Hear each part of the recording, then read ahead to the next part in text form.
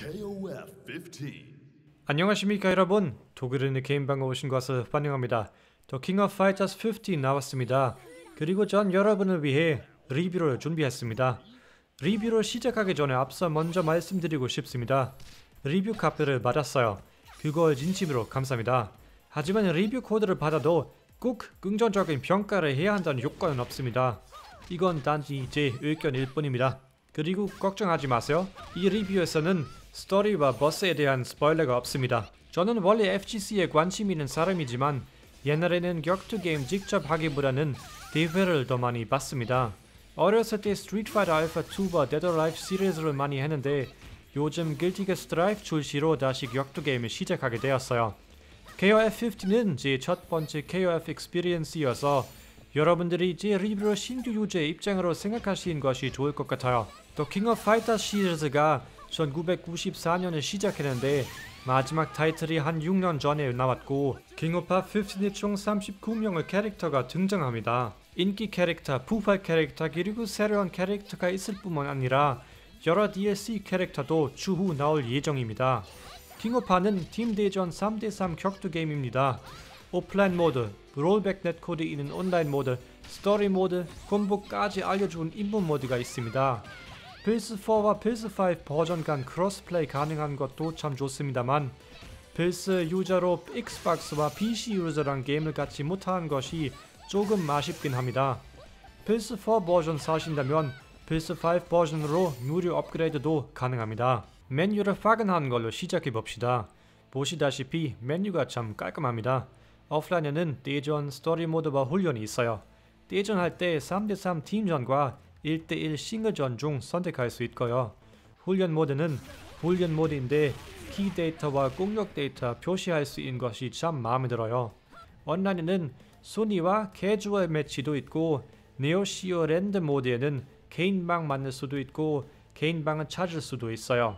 방 아이디 검색조차 가능해서 친구랑 게임하는 것이 편한 것 같아요. 프로필 옵션에서 자신과 다른 플레이어의 프로필을 확인할 수 있어요.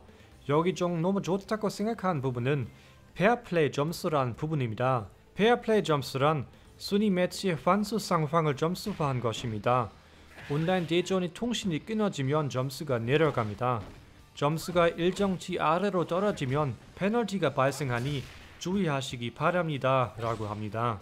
페어플레이 점수는 통신을 끊지 않고 순위 매치를 완수하면 점차 회복됩니다. 너무 좋아요. 요즘 제가 다른 격투 게임 순위 매치할 때 선수들이 라운드 질 때마다 나간 것을 아주 많이 당했으니까요. 이 시스템이 저기 나갈 상황을 당한 것을 좀 감소시키지 않을까 싶어요. 튜토리얼 모드도 있습니다. 완전 신규 유저이시면 전진 후퇴부터 가드 cancel까지 기본 동작을 연습할 수 있을 뿐만 아니라 공격 동작 튜토리얼로 킹 오브 파이터즈 15 파이팅 시스템을 연습할 수 있습니다. 캐릭터의 콤보 연습에 임무 모드가 도움이 많이 될 거예요. 제가 이 모드 생각보다 마음에 들었어요. 여기 배우는 콤보를 매치에서 실행하는 것이 아직 큰 문제이지만요. 그래픽은 좋은 점도 있고 안 좋은 점도 있다고 봅니다. 스테이지는 참 예쁘다고 생각해요. 특히 Classical Chinese Garden과 Province Main Street Night의 분위기가 제 취향입니다. 캐릭터를 배경 앞에 잘 안 보인다고 생각하시면 옵션의 high contrast 설정 찾을 수 있습니다. 배경 아예 안 보여준 옵션까지 있고요. 하지만 제 입장으로는 킹오파 15의 그래픽은 특별히 눈에 띄지 않습니다. 킹오파 15의 그래픽은 예를 들어서 길티기어 스트라이브의 그래픽과의 비교를 놓치지 못합니다. 길티기어 스트라이브가 이 비교에 이긴다고 생각합니다. 킹오파 13조차 이 신작보다 더 예쁜 그래픽이 있다고 생각합니다. 하지만 전 원래 격투 게임 픽셀 그래픽 팬이어서 그렇게 생각한 것 같아요. 킹오파 15의 아쉬운 점은 캐릭터 색상 선택밖에 없는 것일 뿐만 아니라 색상 옵션이 8개밖에 없다는 점입니다. 다른 스킨도 있었으면 좋겠어요. 아니면 적어도 의상의 부분별 색깔 선택하는 옵션이 좋았을 거예요. 그런데도 격투 게임은 그래픽 때문에 한 것이 아니라 게임플레이 때문에 한 거죠. 그리고 게임플레이가 좋지만 참 어렵다고 생각합니다. 3대3 팀전 게임이어서 3명의 캐릭터를 연습하는 것이 쉽진 않아요. 팀 만들 때도 신경 쓸 필요가 있어요. 밑에는 파워 게이지가 있어요. 파워 게이지가 2개 이상 상태에서 초필살기 할 수 있고 max 모드에 들어갈 수 있어요. 파워 게이지가 얼마 있는 것이 팀원의 순서대로 달라요. 첫 번째 팀원은 파워 게이지 3개 있고 마지막 팀원은 파워 게이지 5개가 있어요.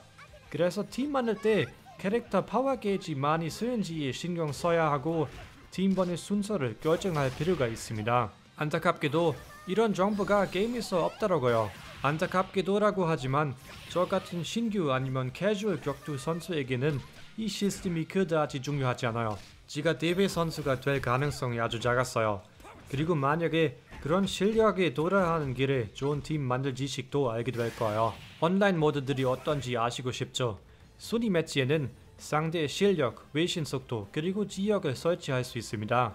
순위 매치에 참가하기 전에는 일단 매치를 3개를 해내야 합니다. 이 매치를 끝난 다음에는 등급이 결정되어요. 캐주얼 매치는 비슷해요. 승부 결과에 따라 등급이 변동하지 않은 승부를 펼치는 모드라고 합니다. 네오지어 랜드 모드에는 여러 가지 옵션으로 개인방 만들 수 있거나 찾을 수 있어요. 다른 선수들이 한 매치를 볼 수 있고 채팅까지 가능합니다. rollback netcode 있어서 매치할 때 ping 정보도 볼 수 있고 rollback 프레임까지 확인할 수 있어요. 전 온라인 매치를 할 때 lag 같은 걸 못 느꼈더라고요.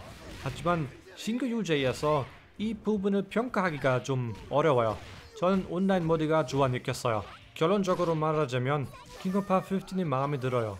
그래픽은 킹오파 13 같아서 더 좋았을 것이지만 어쩔 수 없죠. 게임 플레이가 재미있어서 그래픽은 그다지 중요하지 않아요. 튜토리얼과 입문 모드는 신규 유저에게 추천드리고 싶어요. 하고 싶은 캐릭터가 있으면 임무에서 적어도 세 번째 콤보까지 연습한 것이 나쁘지 않더라고요. 온라인 모드에 rollback 시스템까지 있어서 전 이 게임을 추천드릴 수밖에 없습니다. 영상 끝까지 봐주셔서 감사합니다. 다음에 봐요. 바이바이.